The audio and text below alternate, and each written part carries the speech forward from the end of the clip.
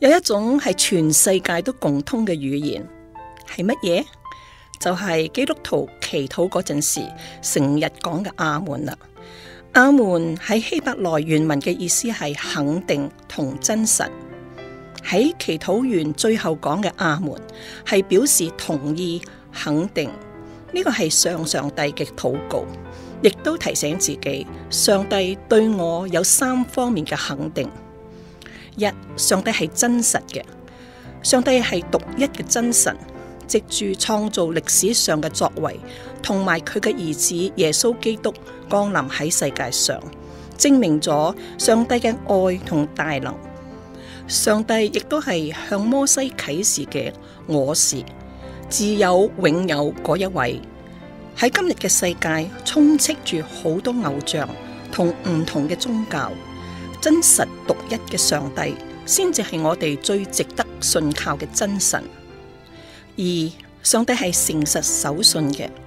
今日世界充满住虚假嘅事同资讯，只有上帝系诚信真实嘅见证者。圣经里面耶稣讲过几次嘅，我实实在在的告诉你们，实实在在就系从阿门翻译出嚟嘅，主所应许必定实现。主必定垂听我哋嘅祷告。三，上帝系慈爱，配得赞美嘅。主知道我哋嘅担忧、需要，佢必定供给医治同安慰。我哋大家一齐诚心祈祷啊！永生信实嘅天父，唯有你系上帝，除你以外，并冇其他救主。